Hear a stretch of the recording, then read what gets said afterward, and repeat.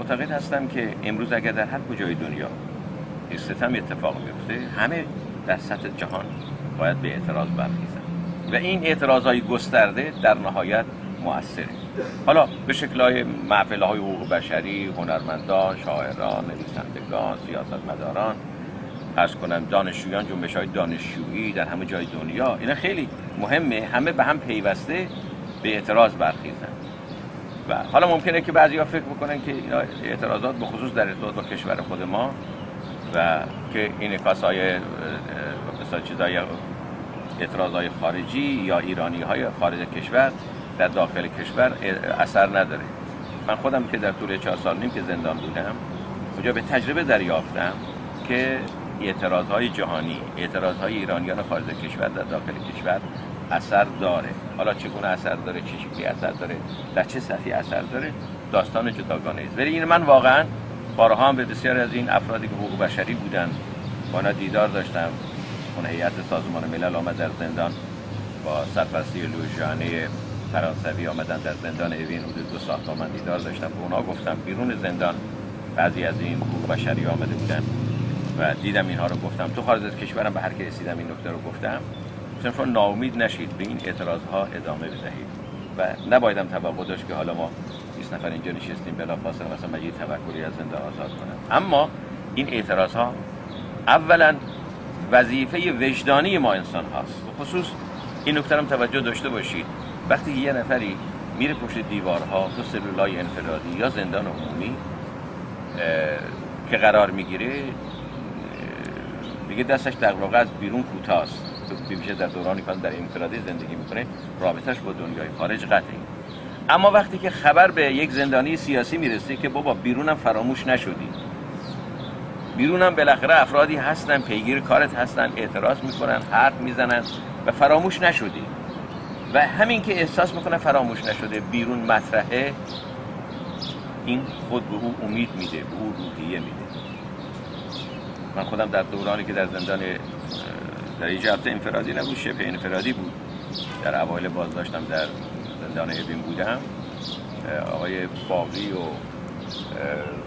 لطیف سفری و شمس البایزین اول اینا سه نفر بودن بعد آقای گنجی هم همشون چهار نفر. در اون بند بغل ما بودن. با ما نبودن ولی با ما اونور بودن.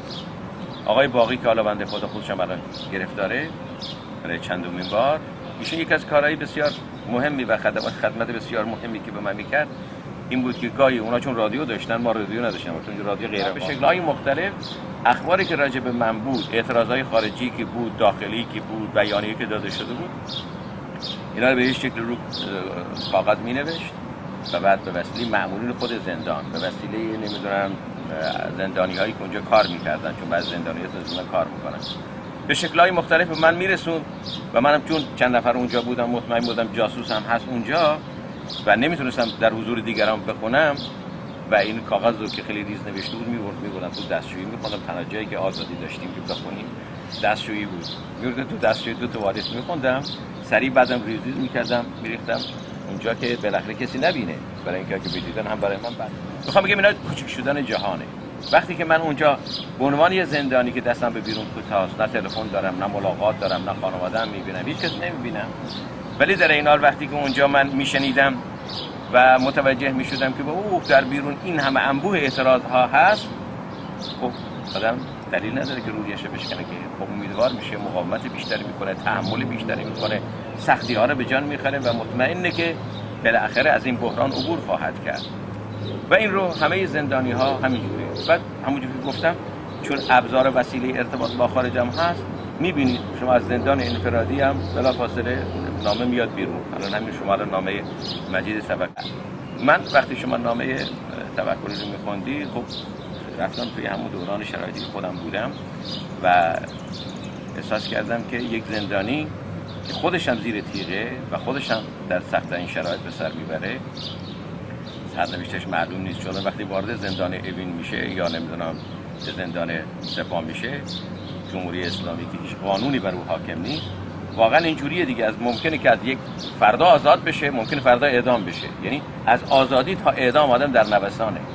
تا زمانی که تکلیفش حداقل روشن نشده باشه یه چنین به وضعیت خطرناک و آزاردهنده ای داره وقتی که زندانی سیاسی چنین روحیه داره و چنین نامه ای می که امروز بنده و شما در تورنتو نشستیم تو این دانشگاه تو این هوای آزاد نشستیم این نامه رو می‌خونیم و خود این نشان دهنده اینی که این زندانی یک از روحیه بالا برخورداره و چنین زندانی رو به راحتی نمیشه شکست. بله حالا ممکنه که انسان بالاخره انسان دیگه گوشت و پوست و استخوان داره بعدا که زیر کابل بره و زیر شکنجه بره ممکنه بعد هم بنویسه. بعدا ممکنه حتی در یک شرایطی سر از تلویزیون هم در بیاره. آدم تا اونجا نرفته باشه واقعا درک نمی‌کنه که این چه شرایطی آدم تحمل کرده باشه تا سر از اونجا در بیاره. ولی اینا در نهایت چیزی رو عوض نخواهد کرد.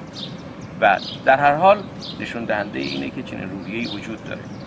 و من بیش از این نمی‌خوام که وقت شما رو بگیرم. فقط خواستم که این نکته رو در اینجا به دوستان شما دوستان جوان یادآوری کرده باشم که این امتیاز رو ما در دنیای امروز داریم که اگر ستمی در یک جای اتفاق میفته به سادگی منتشر میشه و افکار و وجدانها و عواطف آدم ها رو در همه جای دنیا تحت تاثیر قرار میده و این سبب میشه که آزاد مبارزه برای عدالت و آزادی در جهان به هم پیوسته باشه. آزادی خواهان همه در یک صف قرار بگیرن.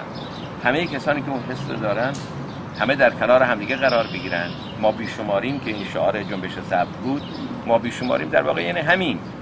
این بیشمار بودن فقط در داخل ایران نیست. یعنی این جنبش که در ایران وجود داره همه جای دنیا رو تحت تاثیر قرار میده. یه فرد غیر ایرانی را هم در کنار ایرانی میشونه همه میشن در کنار همدیگه میشن یک نیروی عظیم. یا فرض کنید که این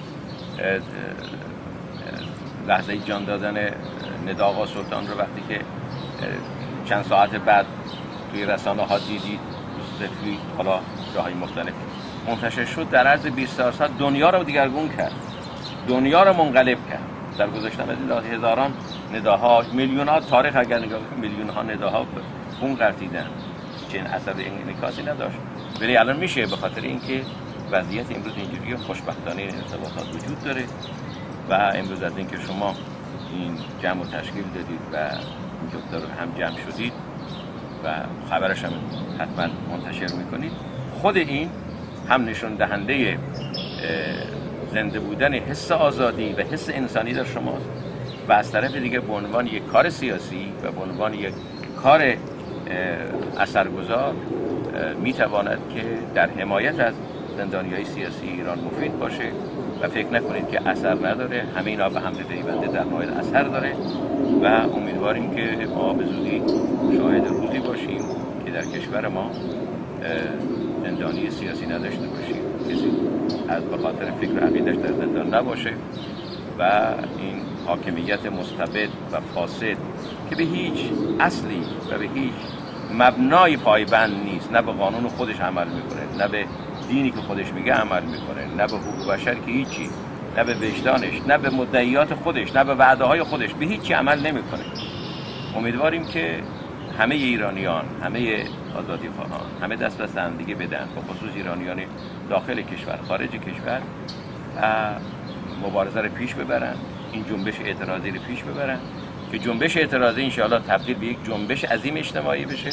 و این جنبش عظیم اجتماعی یه روزی این حالا مثلا کوه یخی استبداد و چون کوه یخ چیز عجیبی است دیگه همزمان همزمان. ضمن که خیلی سفت و سخته اما خیلی هم راحت می‌تواند آب بشود. در برابر اشعه که قرار بگیره نور شدید قرار بگیره می‌تونه آب بشه. این کوری یخی که به ظاهر خیلی قوی و ستبر رو توانا به نظر میاد و همچنان به سرکوبش ادامه میده انشاءالله در برابر این نور آزادی خواهی و تلعلع و درخشش مبارزات مردم ایران در داخل خارج کشور. انشاءالله ملت ایران و همه ما شاهد آزادی باشیم و شاهد رهایی عزیزانمون از بند و زندان و از اسارت باشیم و امیدواریم ما ایرانی ها هم شاهد زمان و مرحله از تاریخ خودمون باشیم که دیگه بحث زندان و مبارزه سیاسی و امثال اینها دیگه اصلا معنی بشه. امیدواریم یه روزی به اونجا برسیم که هرچند البته راه درازی در پیش داریم. با تشکر از همه